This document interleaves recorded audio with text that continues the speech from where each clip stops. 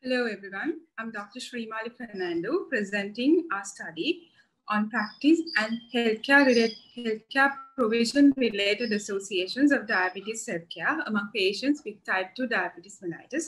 Study was conducted by myself and Dr. Manjula Dhanansuri.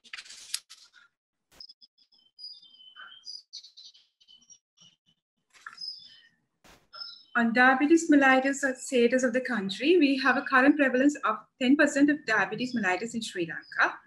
And recent studies have shown that diabetes mellitus lead to adverse health outcomes following COVID-19 infection. But we don't have such scientific evidence for data in Sri Lanka yet. But we have observed that a considerable number of COVID-19 deaths had an underlying diabetes mellitus as well. On self-care, WHO defines self-care as the ability of the people to promote and maintain their health, prevent diseases with or without the support of a healthcare provider.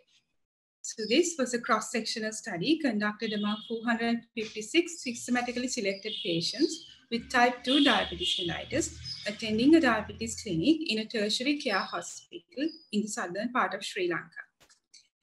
We used an pre-tested interviewer administered questionnaire, which contained a culturally adapted version of the summary of diabetes self-care activities tool and questions on distance travel to the clinic, which category of healthcare worker provided self-care education, and education sessions and the frequency of education sessions conducted on self-care.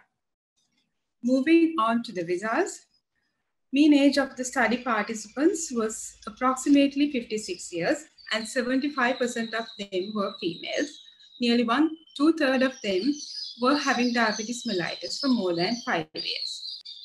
On practice of self-care, only 15.6% of the patients were physically active as recommended and only 30% had a healthy diet.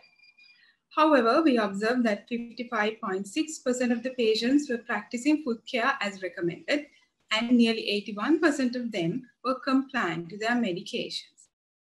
Self-monitoring of blood glucose was only assessed among the patients who were on insulin. That was 16% of the study participants. And the reason for this was that it was only among the patients who are on insulin that self-monitoring of blood glucose is recognized as an effective component of treatment.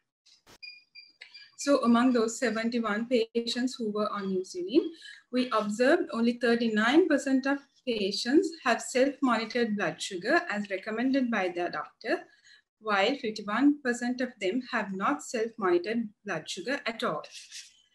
We found that physical activity, healthy diet, foot care, and medication compliance was significantly associated with self-care education and distance travel to the clinic.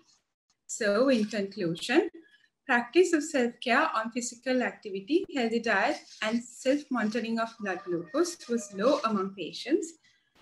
And accessibility to services and differences in educating them affects their self-care level.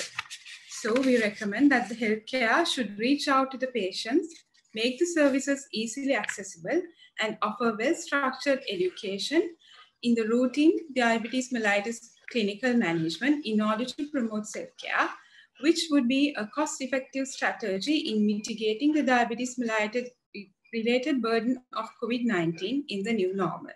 Thank you.